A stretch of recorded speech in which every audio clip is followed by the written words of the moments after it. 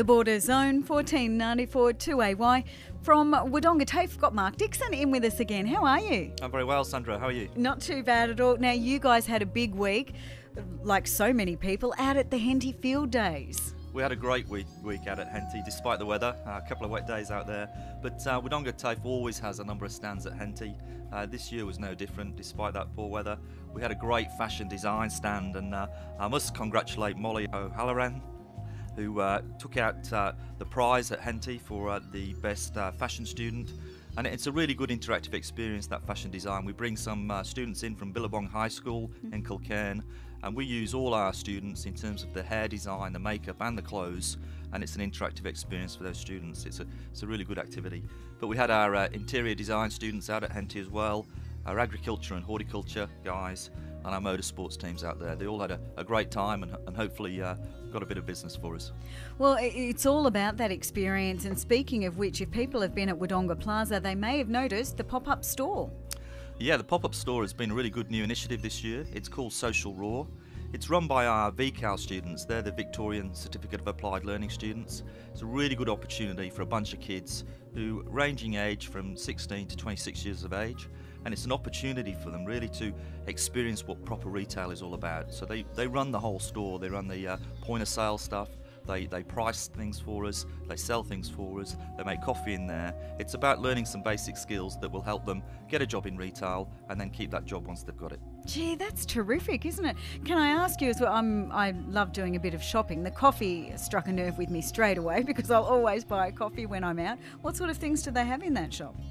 Well, we're working with some local charities, um, mm-hmm. so we're selling some furniture that are made by local charities. So it's all being done not for profit, obviously, um, but as well as actually trying to sell something, we want them to improve their barista skills, their food safety skills, their uh, workplace health and safety skills, and their sales skills. So the coffee we make in there, we don't sell. So if anybody wants to pop in and get a free coffee, oh just no, test you've done it our now. baristas, then they're very welcome to give us uh, t- test it and give us some feedback. Oh wow, fantastic! All right, let's talk about training because, of course, obviously, TAFE do a lot in uh, in training people for different things, as you've mentioned. Yeah, I'd really like to take a, a, bit of time to talk about training. We talk a lot about students, and, and I think everybody knows what a TAFE does for students in terms of their uh, vocational skills and getting those first jobs. But it's really important that we put a message out to the listeners about what we might be able to do for people who run a local business or local industry because we're really keen to see their ideas about what we could offer for them.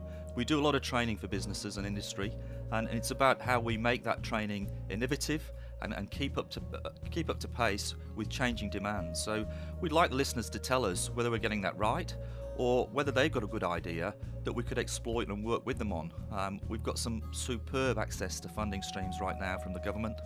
Some of those funding schemes are all about getting jobs in regional Victoria. They're about training innovation. So if we can work with our listeners and, and look at good ideas that have not yet been explored, we'll come and talk to those industries and those businesses and we'll find a way to fund that training opportunity for them to help their business grow. It's a really important piece of TAFE work that we do. We want to support, obviously, students, but we're really keen to grow our work with industry and local businesses. It's one of the things that I guess since we've started having these chats that I've begun to realise that really that community aspect, having people involved outside of the TAFE, you know, giving their ideas and all of that sort of thing is really important. It's really important because it goes back to that role of the TAFE. You know, we're not just here to do private training courses uh, for specific needs. We actually want to be a part of the community. We want to help this region grow. We want to help businesses and industry grow. And the only way you can do that these days is to go and talk to those businesses, listen to their needs. And the old ways of training don't necessarily suit lots of busy businesses these days. So we'll adapt our training to meet their needs, flexible in terms of how we deliver it and when we deliver it, but, but we want to explore those innovation opportunities with those industries about how we might be able to do it a bit smarter. All right, if we want to find out more, what should we do? Uh, same old thing, really. you can certainly email me. The best email is uh, ceo at wodongatafe.edu.au.